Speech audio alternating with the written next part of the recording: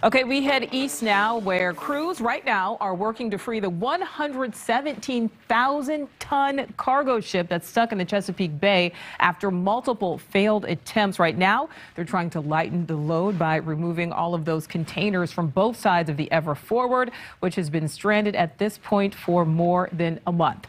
News Nation's Evan Lambert is live along the Chesapeake Bay. So, Evan, how long do crews think it's going to take to actually offload those containers?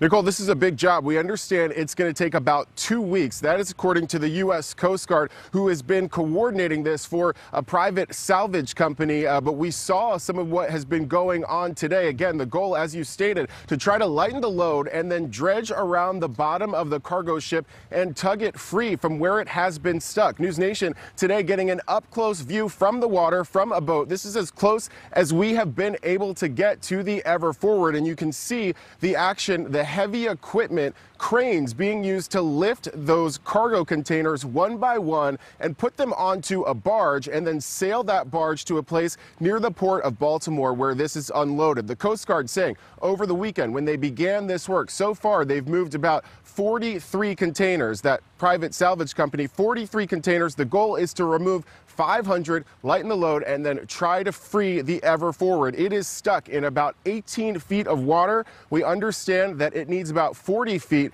to be able to float again. Now, this whole thing, it's caused a bit of a tourist attraction, but not everybody happy with it. We spoke with a couple who spends time eating lunch here. They say it's blocking their view.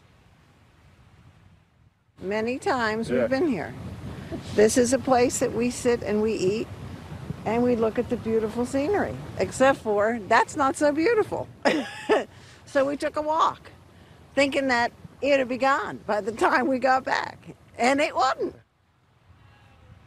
and Evergreen, that company that owns this ship, they have invoked a maritime law called General Average. And what that means is that anyone with cargo on board this ship has to share in the cost of freeing it. And we understand from a cargo captain that I talked with last week that this has got to be an enormous cost. He could not even give me an estimate. Nichole? An enormous cost. We know those crews are working hard. All right, Evan, thank you. Thank you for watching. Click the red subscribe button below so you can get more of News Nation's fact driven, unbiased coverage.